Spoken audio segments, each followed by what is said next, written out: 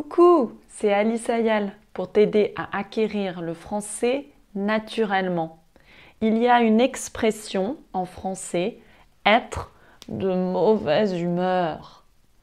Dans mon histoire sur Claudine, Claudine est de mauvaise humeur. Hmm, l'humeur, c'est similaire avec l'anglais. Hmm, être de mauvaise humeur, c'est quand on n'est pas content on est un peu fâché. Voilà, à bientôt